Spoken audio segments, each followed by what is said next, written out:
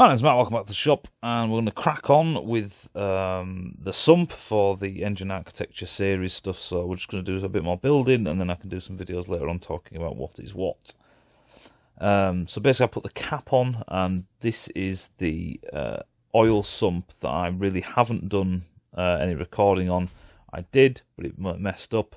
We'll get to it, and you'll be able to see it in a separate video. Um, but basically, this is the end cap that has the uh, main feed line in, and I'm basically just well making that profile. You know I mean? Like I say, it's all about these just building shapes and extruding things the way you want them to be, and so on. That little circle you can see in the top right hand corner, that's a uh, location dowel feature. I just need to know where that is for the time being. Then I'm just going to do the feed pipe uh, and just basically mess around, put some bolt holes in, and blend this all in, and so on and so forth. So the whole idea that I wanted to do was just something a bit different. It's not groundbreaking or anything. Um, but what I wanted to do is have a almost like a double split line where the oil sump, instead of just being this, in a sense, cover, a lot of bikes actually use the sump to actually have features inside them. Uh, Kawasaki are quite renowned for doing that. Uh, and they've all done it at some some time or other. Um, but like when I was doing the R5 and stuff, you can actually see there's some quite a lot of features um, in the the sump, uh, the bottom of the sump, the cover, the bottom cover is not just a cover; it has the pressure release valve and some galleries and stuff in it.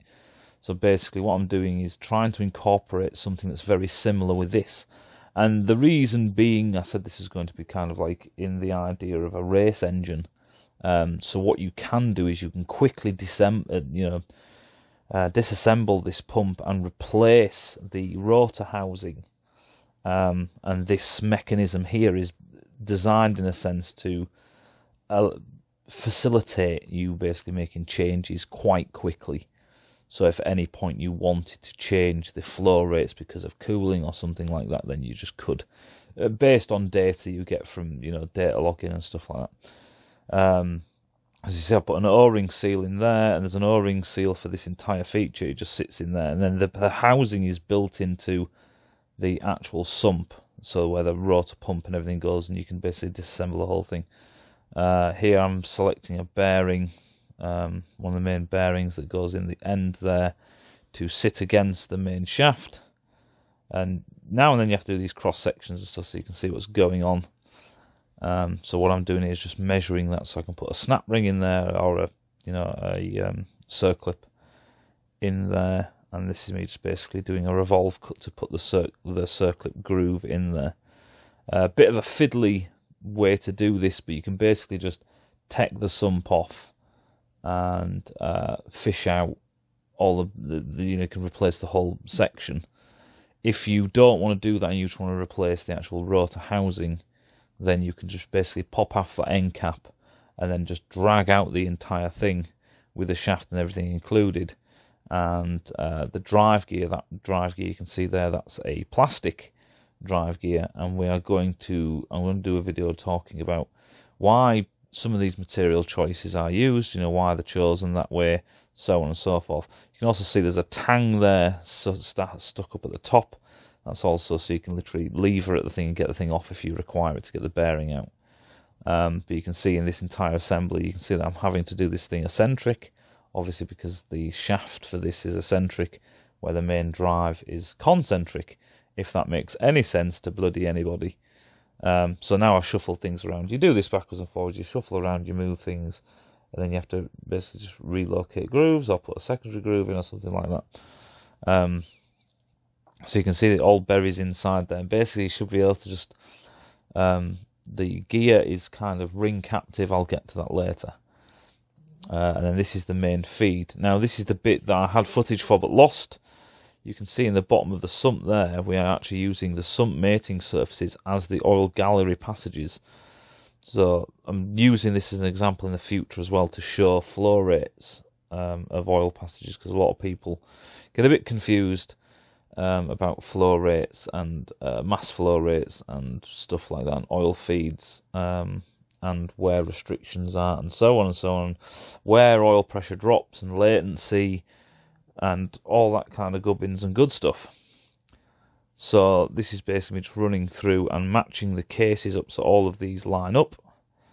And then I'll also put some silicon sealant channels in and I'll get to all that as well. Um, but like I say, I'm just trying to line this all up and make sure everything goes where I want it to go.